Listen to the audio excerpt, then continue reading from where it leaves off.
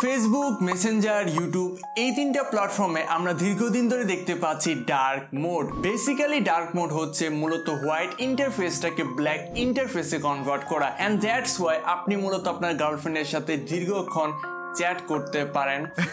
Was going everyone it's your boy a fear তো আজকের এই ভিডিওতে আমরা মূলত শিখব যে কীভাবে ডার্ক মোড এনেবল করতে হয় গুগল ক্রোমে এন্ড এটা কমপ্লিটলি ফ্রি তবে এটা কোনো অফিসিয়াল আপডেট না। এটা একটা সিক্রেট সেটিং যেটা আমি আপনাদের সাথে শেয়ার করব। সো অবশ্যই এই ভিডিওতে একটা লাইক দিবেন। এন্ড এই ভিডিওটা এন পর্যন্ত কন্টিনিউ করবেন। সাবস্ক্রাইব করুন এই প্রোডাকশনকে আর এই বেল আইকনে ক্লিক করুন নতুন ভিডিও নোটিফিকেশন সবার আগে পাওয়ার জন্য। অলরাইট এই কাজটা করার জন্য আপনাদের অবশ্যই গুগল ক্রোমের আপডেটেড ভার্সনের প্রয়োজন হবে। উইথআউট আপডেটেড ভার্সন আপনারা কিন্তু এই কাজটা করতে পারবেন না। এ নিয়ে গুগল ক্রোমে আসার পর আপনাদের সার্চ বারে লিখতে হবে chrome colon double slash flags এই ওয়ার্ডটা লিখে আপনারা সিম্পলি সার্চ করুন।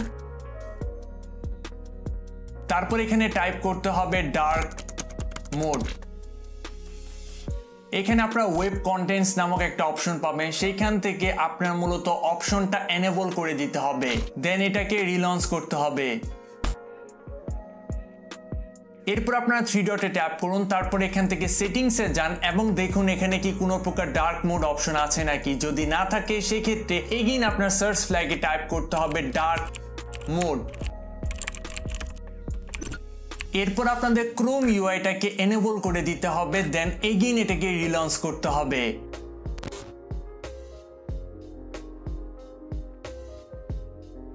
লাস্ট টাইম আপনাদের এগেইন ডার্ক মোড এই ওয়ার্ডটা লিখে সার্চ করতে হবে। তারপর এখান থেকে ওয়েব কন্টেন্টটাকে ডিজেবল করতে হবে। তারপর এগেইন আপনাদের রিলঞ্চ করতে হবে।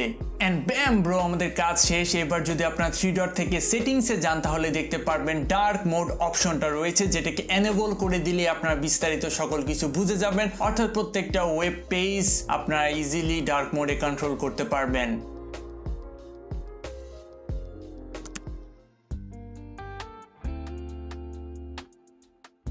So thank you so much for watching this video যদি ভিডিওটা ভালো লেগে থাকে then give a thumbs up share comment subscribe and also press the bell icon as always this is আবার Fardin and definitely I will catch you guys in the next video. Pitch!